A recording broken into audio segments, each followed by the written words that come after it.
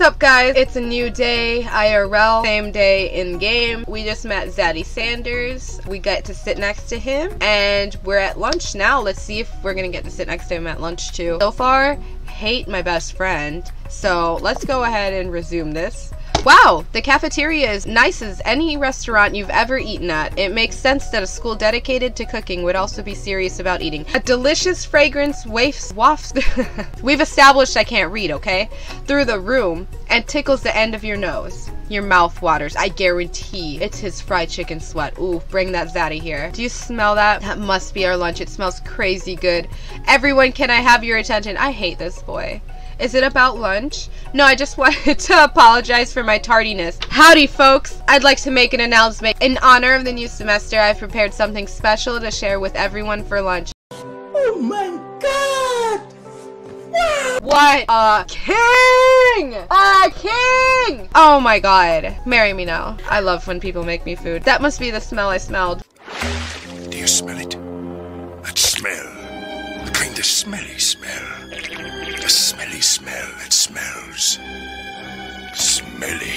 You hold your breath, waiting to see what food this mysterious student has created. You've heard that he's very talented, Oof. but were the rumors true? And this! Colonel Sanders lifts a large bucket above his head. Its contents glimmer in the light. Piled higher, huge pieces of chicken, breaded and fried to a crispy golden finish! Stop it. Get some help. The aroma envelops you and you begin to feel warm and safe. Colonel Sanders has filled a bucket with chicken. What a novel concept. Your stomach begins to grumble as if to say, stop thinking and start eating. For years, I have been developing a secret recipe for the perfect fried chicken. By my calculation, nothing less than 11 herbs and spices are required to achieve the perfect balance of flavors. You look around and notice that every other student has a pen and paper and is scribbling notes as fast as they can. Oh yeah, I forgot we're in cooking school. I'm not here to fucking date this man. But I actually I am here to date this man, okay? But that's all I say about that. What you think we want your stupid secret recipe, dude? Nah, my dude, nah. I'm just drafting a last will and testament in case one of those ingredients is poison. Got him. He looks nervously around to see if anyone else is laughing at his sick burn. It wasn't really a sick burn. You wait to see what zinger Ashley has prepared to follow up, but she suddenly takes a different approach. Yeah, and I was just like writing in my diary. Dear diary, today I felt something beautiful. I knew at that moment that only the hands of a true gentleman could fry chicken so tender. Girl, step! She is a step the fuck off my man. Oh my god, this bimbo. We are gonna fight, girl. Fight! We are going to fight. You see her body language change from bitter and evil to sweet and innocent as she slides close. Fucking snake. She realizes that she is destined for greatness and fame with cooking skills like this. She wants him all to herself. No, girl, I'm gonna win him. Mm. I always get what I want. I always get what I want. Okay? Oh, please. Well, Van Van the Man Man, if you don't want any. I mean, I guess I'll try it. He takes one bite and his eyes grow wide. He starts contorting his face as he tries to hold in his pure exhilaration and act unimpressed. How can you do that? How can you set it in your mouth like that and not be impressed? That's what she said. The Colonel's chicken? Are you even cultured? Anyways, easy now. There's enough for everyone. Please, my fellow classmates, dig in. You take one of the pieces of one fried chicken out of his bucket and sink your teeth into it.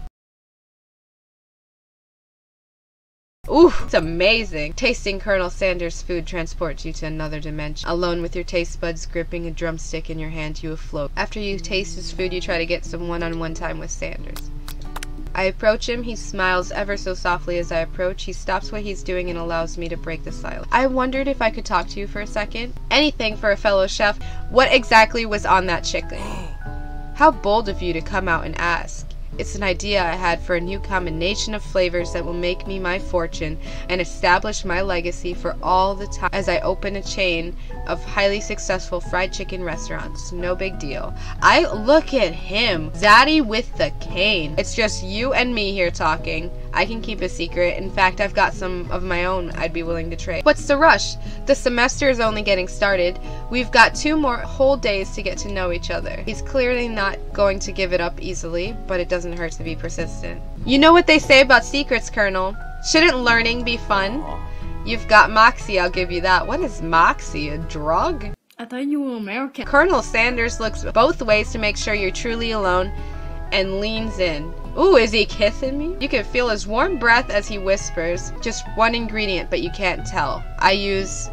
It's something my great grandmother taught me. Wow, You'd have never guessed that. In fact, you're not even sure where you'd get some if you search. While you wrapped up in that huge revelation, you notice that Colonel Sanders has disappeared. While everyone else is still in the cafeteria, you decide to look for him. You find him outside standing in the quad. Oh, it's you again. Howdy. Sometimes I'd like to come outside and look at the school buildings. I think about how my story will continue on after I graduated. It sounds like you have big plans. I dare say the biggest. I will leave my mark on this world, you can bet on that. The flavors were complex but comforting. The interplay between salty, savory, and peppery was perfect. I'm sure you'll be a big success. We should head back inside. The next lesson starts soon. You step into the massive cooking arena where the afternoon lesson will take place. Each student gets an oven and all the tools and ingredients they could need. Look at this place. It's magnificent. Finally, we get to show our stuff. Wait a second. Oh no. We have to show our stuff. What if I totally blow it? You're not going to blow. Oof.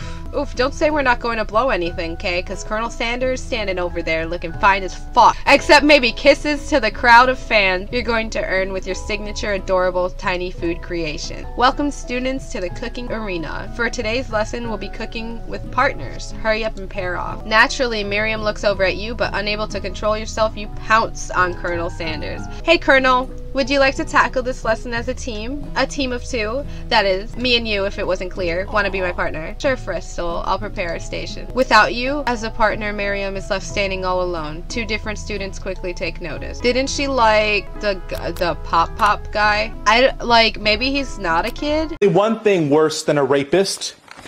Boom. A child. Oh my god, without peeling it, ate the whole banana. That what skill? She loves his enthusiasm. Oh, it's too late to choose to. I don't. Honestly, this story ain't about Miriam, okay? It's about me getting with Colonel Sanders. This is my life. She can. She wanted to work with Clank. She could have worked with Clank. It's not my fault for choosing Pop. She said that she liked him, okay? She she should speak up more. I don't like Miriam. Now it's time to focus on your own cooking class. All right, you two. For today's lesson, we're going to keep it simple. Pick a basic dish and divide it up into steps. No chef is an island. It takes two flints to make a fire. You get the idea. Which dish do you suggest to your partner, Colonel Sanders? Egg tartare seems easy. It's fancy. You don't even need to cook it. Oh, we're gonna have him make his grandmother's mashed potatoes and gravy. I've always been something of a down-home chef. I was thinking we could make something warm, inviting, comforting. Maybe mashed potatoes, egg gravy. Ah, I'm gonna win this man. I'm going to win him.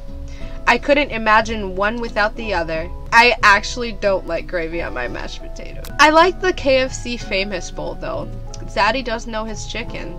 Colonel Sanders he casts a coy look at you, causing your whole face to go beet red. Embarrassed, you quickly turn away.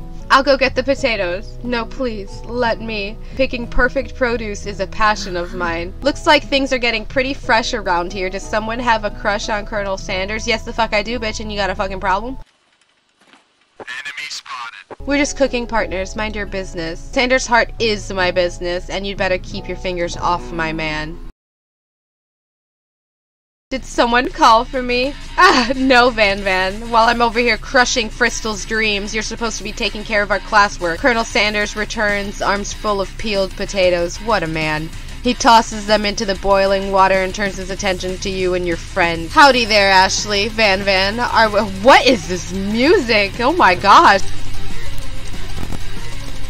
Anyways, are we working in a quartet instead of a duet now? Actually, no, it looked like Fristal was struggling, so we offered to give her a hand. You know how it is. These young amateur chefs need a lot of mentoring. I was going to say, Colonel Sanders, maybe I could teach you a thing or two about fancy food. Maybe one day you might be able to get up to my level. Doubt it. Don't be rude, Van Van. Personally, I have no doubts whatsoever about Colonel Sanders' ability to concoct creations worthy of admiration. After all, your fried chicken was quite spectacular.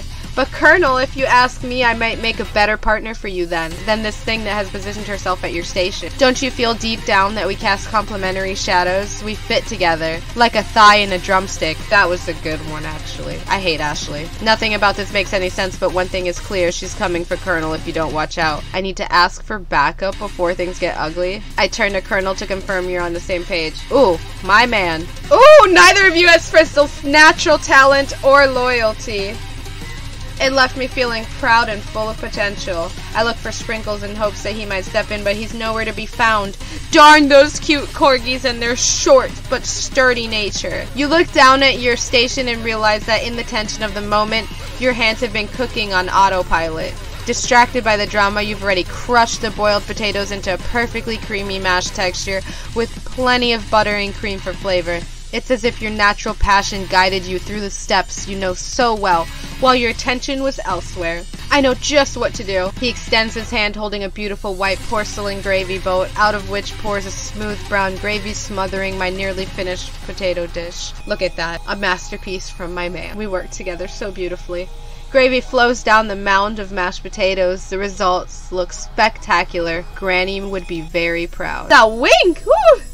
Colonel Sanders holds a spork out to you the most. What did they say? I don't remember. The best of all the utensils, okay? You reach out and grab a hold of it. That's what she said. But he doesn't immediately let go. The two of you stand holding the same spork, and for that small moment, all of the madness and pressure in this crazy world stops. Your eyes lock, the moment is electric, time stands still. If you love something, set it free. What does that have to do with this? We are eating mashed potatoes, sir. Together, you dig the utensil into the mashed potatoes and lift a heaping sporkful up. When you see Ashley with a sinister look, you know she's plotting to be with Colonel Sanders and then filled with rage without thinking. You fling the sporkful of mashed potatoes scooping up a fingerful van tastes the dripping mashed potato and gravy and realizes it's delicious Horrified, he slinks away. Will he ever be able to cook something like this with so much love and integrity? Hold on right there, Fristo. We do not waste food. Can I have potatoes, base? Van Van rushes back over, a covered dish in his hand. Mashed potatoes with gravy, pathetic. In just a few minutes, I've prepared a full meal. Gaze upon my specialty braised tentacle of op- octopus in my silky saltwater sauce, plated on a battle axe blade forged by my supreme chef ancestors. Wow. You've ignored me for too long. That ends now. It is I who will have the first bite, and you will all look on with envy. The interrupting student rushes at Van Van and swipes a bite of his signature dish right off the plate. No, don't! Something about this dish doesn't strike my nose quite right. I think the octopus was rushed. They may have turned in the process. The results could be toxic. Too late, it has been eaten. Uh-oh. Oh, he died. Miss Keisha. Miss Keisha. Miss Keisha. Oh my fucking god, she fucking dead. Wow, there, there's been a death? There's been a death! When you look back at the plate, the rest of it's gone. You know it's the tip of the tentacle being slurped up in Pop's mouth. Tastes like poison. The entire class is gathered to watch Pop's final moments.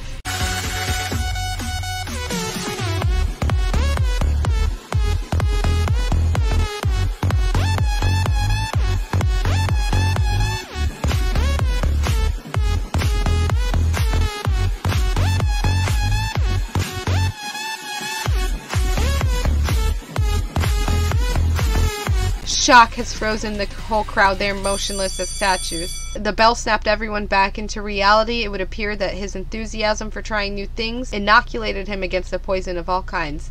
I'm not sure the professors here make enough money. Seeing that you're shaken up by that really annoying student and all his nonsense, Colonel Sanders approaches you. I'm sorry you had to go through that. Please let me walk you home. You follow Colonel Sanders out of the room. At night, the school building has taken on another vibe entirely. It's dark and more than a little spooky. Stands in the quad's neon glow and speaks softly. Those mashed potatoes you made in class today. Before you go on, I want you to know they're not a great representation of my skills. I didn't even realize I was making them. They were amazing. Tasting them, it reminded me why I became so passionate about food to begin with. He's beautiful. What a, what a pure man. Colonel Sanders is getting choked up. Cooking is obviously important to him. Now might be the perfect time to tell him you're developing feelings for him. Colonel Sanders, yes, Fristal, there's something I need to tell you. Van Van! Oh my god.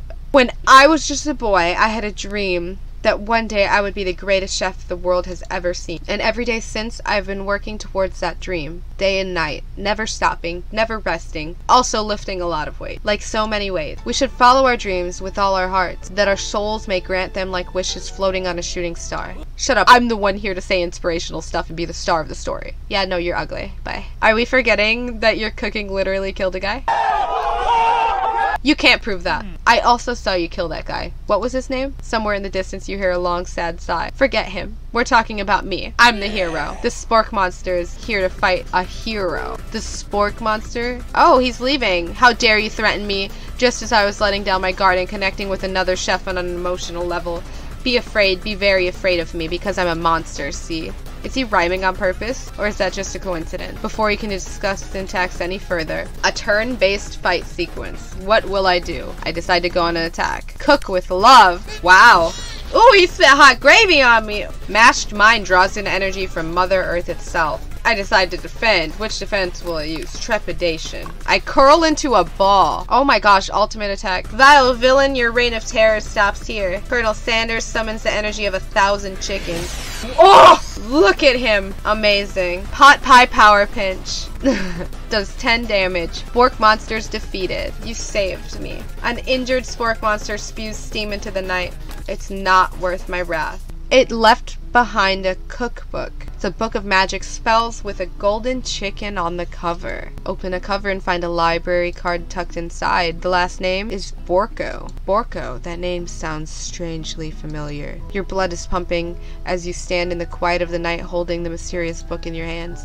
As you come down from your battle buzz, what battle? I literally cowered. You realize that your attack has left you completely depleted. The world around you begins to fade away. Without any energy to keep your eyes open, darkness overtakes you. A few inches later. The image of Colonel Sanders flashes before your eyes before you fall asleep. He must have helped you get home. In your tired state, you don't know if you could have made it without him. What a guy. You want to thank him, but you don't have the strength to utter a single word. You feel your covers being pulled up over you as you are tucked in tightly. Good night, my Colonel. In your dream, you're together with Colonel Sanders for some reason. Sprinkles is also there instructing your love. Dreams are weird. Oh, wow, look at my dream. Amazing. That's gonna be the end for today. When I come back tomorrow, we'll play day two, and it'll be so much fun. I can't wait. I'm having a lot of fun with Zaddy Sanders, and uh, that battle was sick. He's this is this is a fun game. Definitely worth it for free. For free? Are you kidding me? Okay, I'll see y'all in the next one. Thank you for watching.